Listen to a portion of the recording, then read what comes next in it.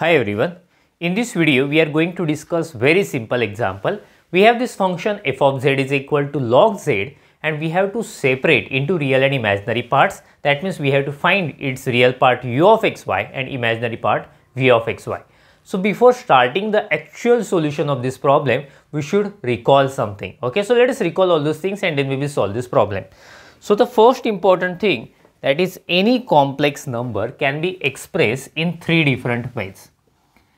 z is equal to x plus iy, we call it as Cartesian form.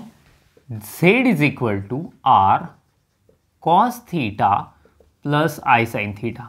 We call it as polar form and z is equal to r e raised to i theta. We call it as exponential form. See next two forms we use r and theta and in first form we use x and y. So obviously there is a relation between xy and r theta. Let us recall that relation also. So see r is equal to the formula of r is square root of x square plus y square theta which is tan inverse of y by x. Getting? And one more thing x is equal to r cos theta and y is equal to r sin theta. So, the, uh, these are relations between r theta and xy getting. So, here let us start to solve this problem. So, let me write first we have what is the function we have log z. See we have to separate into real and imaginary parts we have to find u of xy and v of xy. So, generally what we do we replace z by x plus iy okay and we separate out real and imaginary parts easily but see this time that technique doesn't work. What will we do? We are going to replace z by its exponential form. You can see here z is equal to r, is, r e raised to i theta. Okay, so let us replace z by r e raised to i theta. So log r e raised to i theta. So there is one property of log. Let me write here log a into b is equal to log a plus log b. So if there is a multiplication, we can we can write separate separate. Simply we have to write addition there.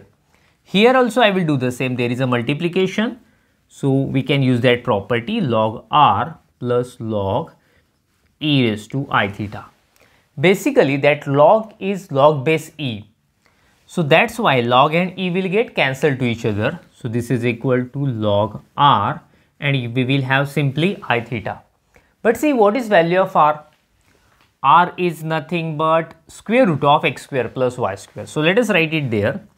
So log x square plus y square. Root is there that means raised to half plus i. Theta means what? Tan inverse of. Theta means what? Tan inverse of y by x. Okay. See there is one more property of log. Let me write here. Log a raised to n. See, when you have any power of a, we can write n log a. Okay, so that property of log I am going to use here. This is our a and this is its power. So if you have any power here, directly you can write as a multiple of log. So I can do the same. So this is equal to half. We can write here log x square plus y square and plus i tan inverse of y by x, right? So this is real part and this is imaginary part. So let me write there, just make a screenshot of it.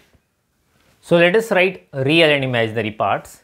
Okay, so the real part, this is half log x square plus y square, right?